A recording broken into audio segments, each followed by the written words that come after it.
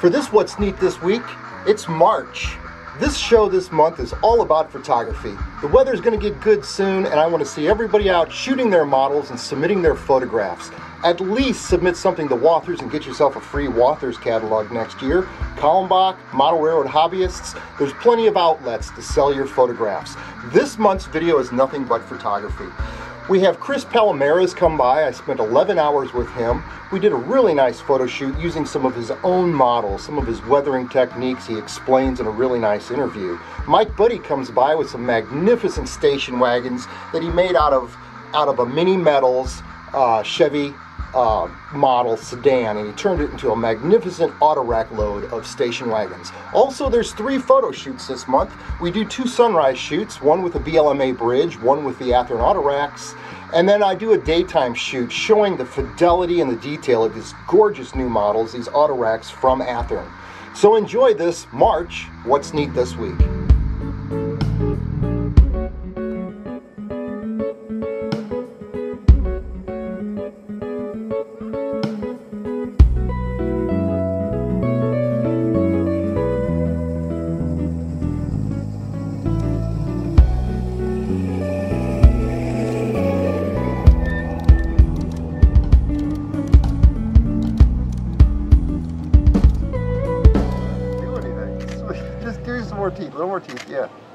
Your smile, baby. It's cool. Let me center you a little bit more and pull right All right. A little bit more.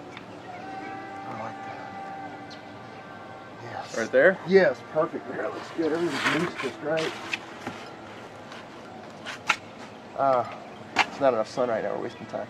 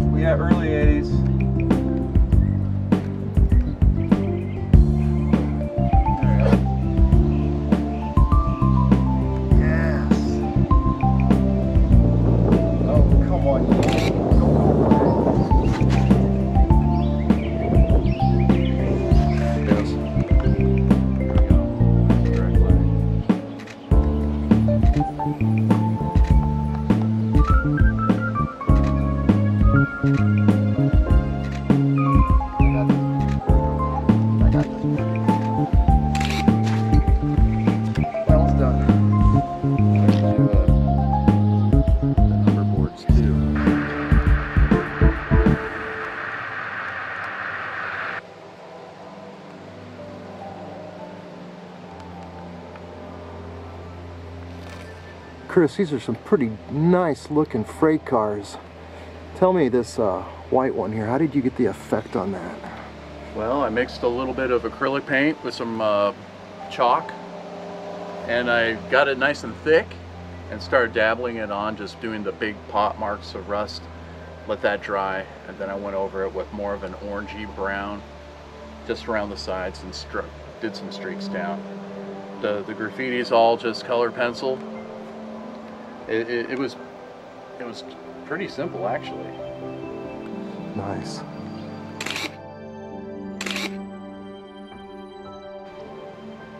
Now this CSX car looks pretty hot.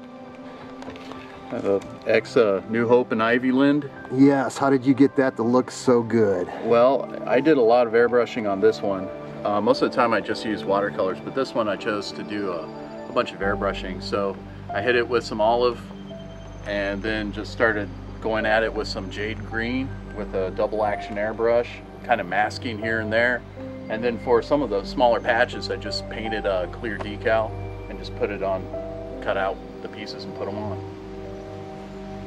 Nice work, man. Thank you very much All for right, sharing that freight car with us.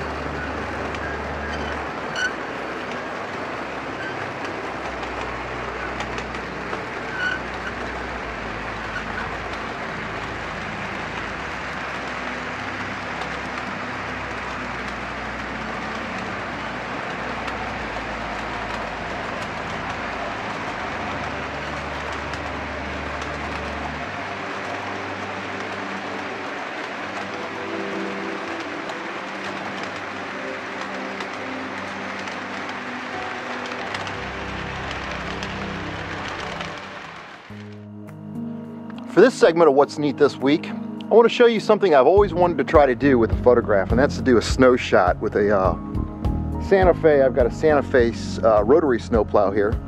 I've got it powered up, and she's plowing the snow. And what I'm going to do is bring this into Photoshop, and I think I can make everything blur out just right during the shot. This is our moving diorama that we used for the DD40 and Big Boy uh, photographs. So I'm getting a lot of use out of this. A couple pine trees in the background, a set of mountains. I've got a wire with cotton in it, and I know it doesn't look like much now, but the magic of Photoshop, I think I can take everything and correct it, and we should have a really good snow throwing shot right here. And now let me show you, this is how the snow rotary shot came out. And after Chris Palomarez worked on it a little bit, we ended up with a shot that little bit of photoshopping and the shot came out just like this. I mean, this is just as real as you'd want an HO scale model to look. All the snow is flying just right, the clouds, the atmosphere. It's just a really great shot of an Athearn rotary doing its job. And in fact, we had the, the big blade spinning so that it would blur out just a little bit on film. So I'm happy with, with, with the way that this photograph came out. I want you to check out kenpatterson.com, and the reason for that this month is I've got a brand new two hour video, two hours and 12 minute long download on building the Blackstone layout. This is the narrow gauge layout that I built where it originally started out as a simple product review for Blackstone models, where we had a C19 locomotive uh, that was simply supposed to be shot, and I needed to build a layout that would create a loop. And this loop layout, after the photo shoot and this beautiful run by that we achieved from that shoot, turned into an absolutely incredible construction article on building this layout with switching, with leads, with yard passing tracks, all the scenery, all the wrapping of woodwork, the electrical work, the switches. Everything is in this two hour and 12 minute video download building the Blackstone layout at kenpatterson.com. Something else I want you guys to check out is the new HOn30 annual came out. Chris Lane did a magnificent job this year in editing this book. It's full of articles, the thickest, biggest book that I've seen to date from them. And I've also got a good article in here on building the Lightner trestle. That's Bridge 160A on the Rio Grande Southern, where Robert Richardson shot that famous snow shot of K27 number 464 plowing snow on one of its last revenue runs. And we, I recreated that photograph here in model form where we've captured all the glory of that shot in color. And there's an in-depth article in this year's HOn30 Annual 2014 where step by step through a lot of photographs the process of building that scene is explained. One last thing I want to talk about is I shot my new Bachmann cover this year. Just finished that up. That's my 100th and 20th 120th cover in the industry so far. And what's exciting about this is the news that Bachmann is announcing on the new E-Z App control system. People are saying in the industry that this may or may not replace DCC, but the fact is you turn on your handheld telephone device and it tells you what engines are on your layout and gives you the choice of running anything you want to run. So it sounds like some really fascinating technology, and Bachmann's on the cutting edge with this. So with that, enjoy the rest of this video, the What's Neat This Week for March.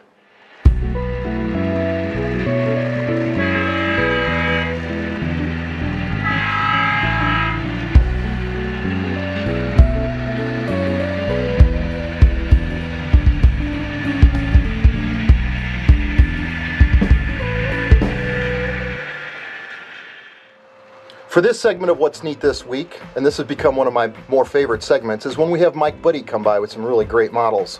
Today he's come by with some Mini Metalworks uh, Chevys, where he completely modified a sedan into a station wagon. Wait till you see what Mike's got to show us this week. Hi, uh, yeah, it's the classic Metalworks Mini Metals, uh, 78 Chevy Impala, and uh, they start out looking like this. Everybody's seen those before, but I converted one to a station wagon because I wanted to make some station wagons for my auto racks. I just did the work on the uh, quarter panels and the roof out of styrene, and uh, that's how it turned out. Then I made a rubber mold and cast a lot of them in resin. Uh, just painted them different colors as you can see on the auto racks. I cast my own wheels too from the same kit and uh, made the tires look like uh, they some of them had white walls. So you rebuilt the whole insides, the whole rear is styrene. I see the inside the panels rear, for yeah. the door interiors of the car. Right. Then the bottom of, of it is just a flat chassis with the seats and the dashboard glued in there. I made a master, master of that. Then it fits together and it has a complete interior. The only thing it doesn't have is a steering wheel. Then I did the uh, windows out of scotch tape. The models are all finished in uh, factory close colors anyway. I tried to make them look like new cars being shipped with the, the uh, manufacturer stickers in the window. And uh, most vehicles back then in the late 70s were shipped with without wheel covers because they were stolen in the era, era of open auto racks. Uh, really just spent a little bit of time on, on painting them all and, and finishing them off with uh, clear tape for the windows, scotch tape, Man, Mike, this is like the best I've ever seen. The amount of work it took just to do the metal work to go from a sedan to a station wagon is revealing. Well, that's so, that's why I only wanted to do it one time. right, and made it's made a made a yeah rubber mold and a resin cast, and it's something anybody can do. Mike, so. this is really cool, man. Thank you once again right. for just making us so impressed. See you next time. This is the part of the show where I get to share a really cool photo shoot with you. And today, well, you know, I want to cover something. Folks say it's the middle of wintertime and this is your March or your February show and you're showing springtime, you're showing warm weather. It's all glorious and beautiful outside. And the fact is, the internet's global and our show is global. So anytime it's wintertime in the country, in the United States, you know the Southern Hemisphere is enjoying a wonderful summer. Anyway, today's photo shoot really is something worth noting, and that is these beautiful Athearn auto racks that the UPS man just dropped off. I've been shooting these today, and the exquisite details on these freight cars are absolutely worth noting. These cars are so nice, I wouldn't even put loads in them. I'm, I mean, it's that nice of fidelity. These are plastic brass definition of the term. And they come in a multitude of road names. And these are just a few of them that I'm shooting at the moment right now, setting up a nice yard shot. And I'm using Jeff Myers switch yard that we've used for multitude of ads. And if you look here, I'll show you the shot I'm trying to set up right now. Just a really nice sunny 1973 Springfield, Missouri Frisco shot. So we've got some really nice models to work with today. beautiful morning to shoot some auto racks. See if we can't get the sun to just play through the finite posts that these models have.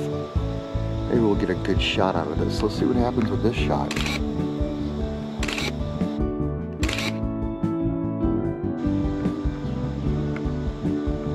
Well, I know I got the sunrise shot. I've already done that. Now I'm just kind of walking around and getting some really interesting photographs of Mike's Buicks and these Athearn auto racks just to see if I can't get some decent product shots with the sun that we have right now. Let's see what happens.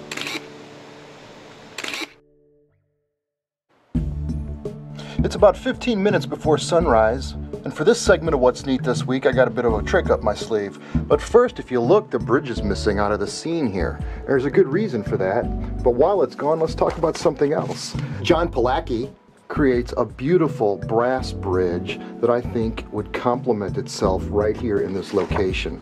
It's just an incredible looking model, all brass. You put it together with super glue, and the instruction book itself is just, it's, it's an article unto itself. And the brass etchings are just something exquisite to look at. It looks like all the hard parts already been done for you. All you've got to do is just spend some time and a lot of repetition. But now why is the bridge missing? The bridge is missing because in about 10 minutes we're going to do a BLMA sunrise photo shoot, which I've spent an all-nighter working on projects, so it's just perfectly set up now. And I've got enough cloud deck here where if I get reflection during the sunrise off the clouds and the water, this should turn out to be just an absolutely spectacular photograph. So hang tight and let's see how this one turns out. Well, I can tell you we're getting really close. Now, let me explain something. What you've got to do on a shot like this is when you've got the sun coming straight at you with hot light, you've got to reflect light back onto the backside of the bridge. And so normally I'll use a foam reflector to do that. But while the sun hasn't come up yet and the light is very low, I'm experimenting with one of these bar lights, throwing light onto the bridge while I shoot the shot just feather a little bit more light just to just make the details a little bit more distinct in the photograph. So we're getting really close now. Generally, right before the sunrise, within nine minutes before the sunrise, you get great reflection if there's any clouds, and that's what I'm anticipating with today's semi-cloudy sky. And then when the sun just breaks the horizon, it's generally hot underneath the cloud deck, and that's when we should get a good reflection shot. Here we are, this is the best we're gonna get today. I'm shooting exposures right now just at one second.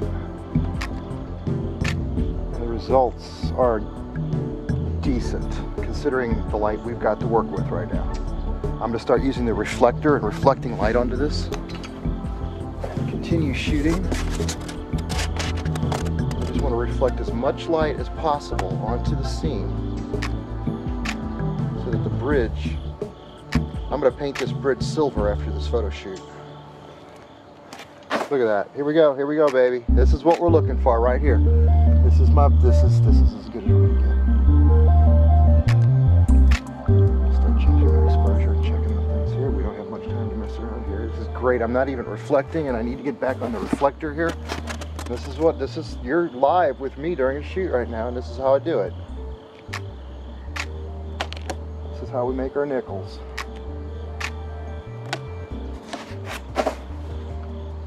This is just exquisite at the moment. I'm to lower my camera for just a little more water reflection. Up to the sky we go. A little different position here.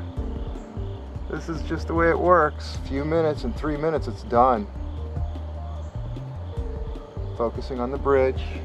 I'm letting my depth of field take care of the rest. Checking my exposures. Look at that. That's magic. That's magic. And that's how you do that.